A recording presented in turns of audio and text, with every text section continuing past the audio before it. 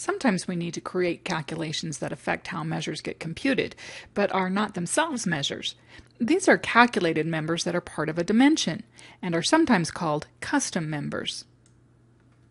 Here's an example of the MDX script for a calculated member that we're adding to the product dimension. The purpose of this member is to have a value for all the product categories except for bikes. Notice that the name identifies the dimension and hierarchy as well as the parent member. The key components of the expression that we use for this calculation are an aggregate function, which happens to be aggregate here, but could be sum, min, max, count, or average, and a set. A set is a collection of members from the same dimension and hierarchy. Notice the set is enclosed in braces. Here we're defining a set that contains specific members, accessories, clothing, and components.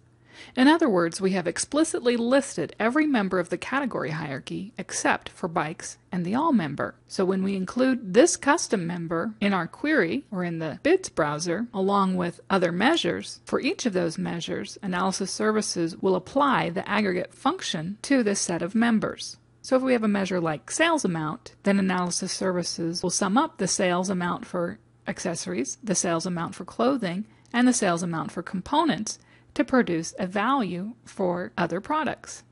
Now, the reason we use the aggregate function here rather than the sum function is because we have some measures that are additive, like sales and costs, and we have some measures that are non additive, like profit margin percent.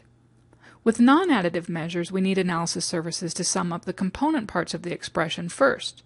So, with profit margin percent, that means we need to sum up the numerator separately from the denominator, and then do the division. And that's exactly what the aggregate function does.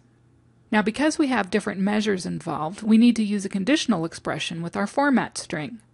Notice here we have a case statement, which is perhaps a little bit easier to read when we have different conditions than trying to use a nested if function.